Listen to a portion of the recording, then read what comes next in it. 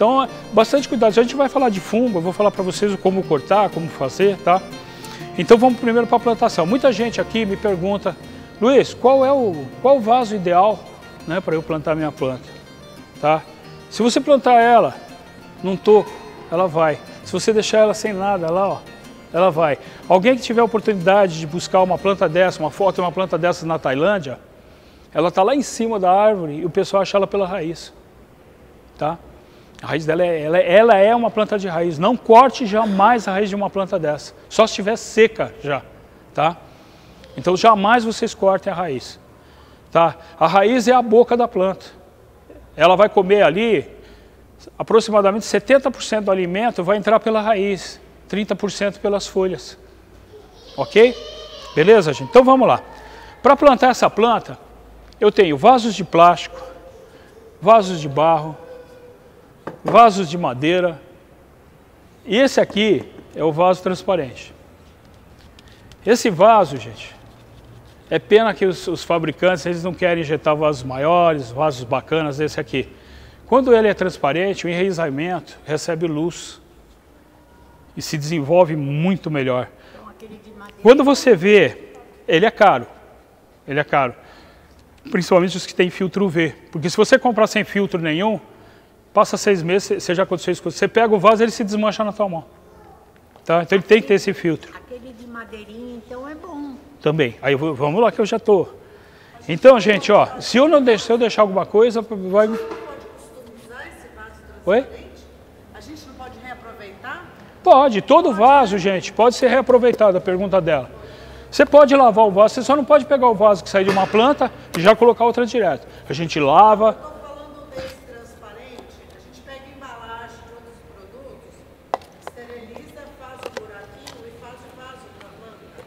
Desculpa. Você fazer o, va o vaso, tipo de uma Pode. bacia, de um tapué. Pode, tem muita gente que faz, eu já fiz, normal. Se ficar legal. É que a gente é, passa depois de um tempo, a gente começa a receber os amigos, né? Aí a gente se pega aqueles escorredor de prata, até escorredor de, de macarrão.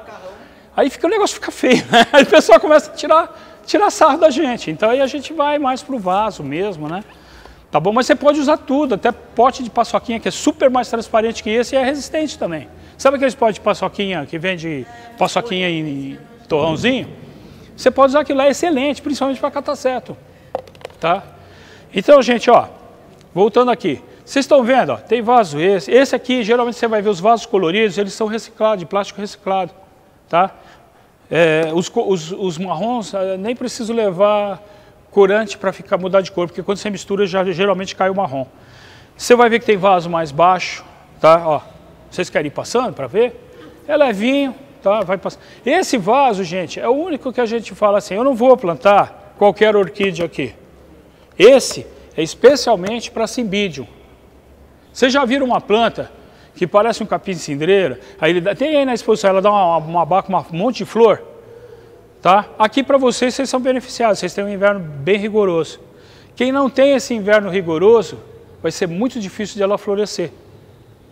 Porque se você pegar o nome, lembra que eu falei, você botar lá na internet, você vai ver que ela vive, ela não é brasileira, ela vive no alto de montanhas. De dia é um calor, um calor tórrido, ela está na pedrona lá com um pouco de substrato de terra, né, que seria o, o substrato dela, e de noite ela fica coberta de, no, de neve, totalmente coberta de neve. E ela precisa desse choque térmico, essa diferença, calor e frio para florescer. Muitas vezes né, a gente vê o pessoal no começo, vai lá e bota gelo, cobre a planta de gelo, e a gente brinca, não é a mesma coisa.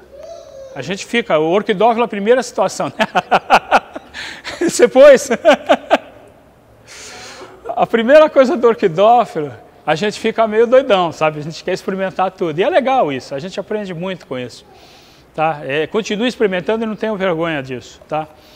É, é, porque a gente evolui por isso, pela nossa curiosidade. Se não tivesse curiosidade, não haveria evolução.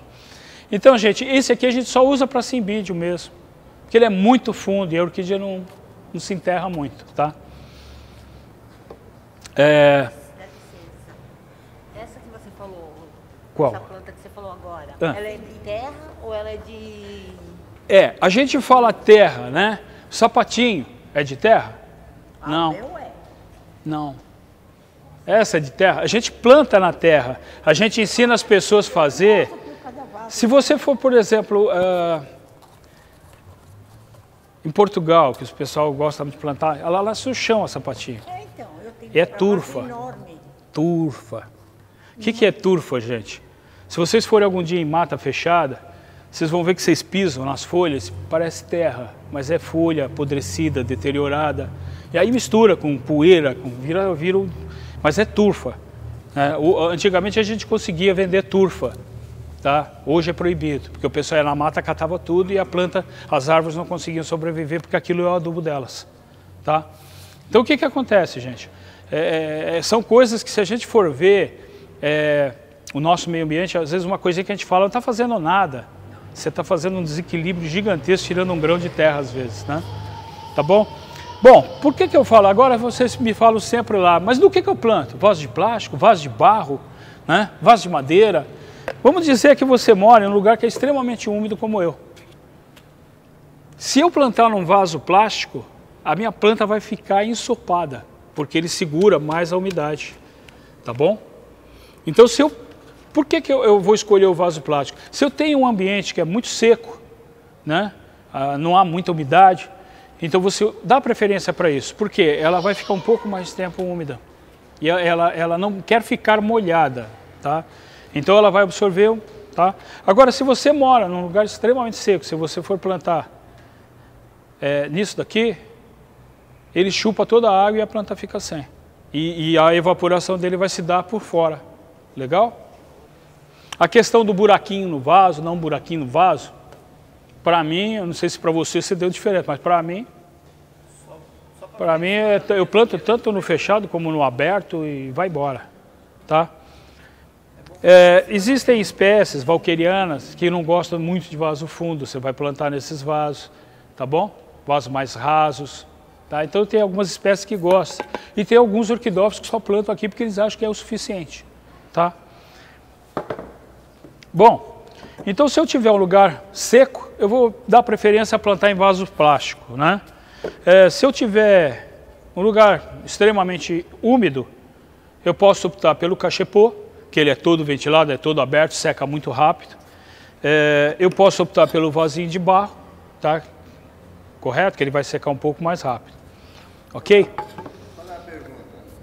O vaso de barro, é, mesmo que ele seja um lugar relativamente seco, você como ele perde a umidade muito rápido, você pode, por exemplo, molhar todos os dias ou a cada dois dias, digamos assim? Vamos chegar lá. manter essa umidade? Pode, é, o, secar aí que você. Que o que ele está perguntando é se, se o vaso de barro vai secar mais rápido. Aí eu vou ter que. Provavelmente sim. Se você estiver num ambiente seco, você vai ter que regar mais vezes. Mas isso não afeta a planta. Se eu molhar, Não. digamos que eu coloco um irrigador que eu querendo fazer, Sim. para ligar duas vezes ao dia e uma válvula que vai duas vezes ao dia, Sim. vai dar aquela pulverizada, não encharcar. Sim. O que ele está falando aí da, da, da, da rega, tá, gente? O que, que é? Se você tiver um esquema de, de pulverização, você é, você está no ar. Ela não gosta, a gente confunde umidade de orquídea com ela estar sempre molhada. Ela quer umidade do ar. Não é que ela tem que estar sempre lá debaixo d'água. Né? Senão a gente jogava lá dentro do aquário ela ia embora.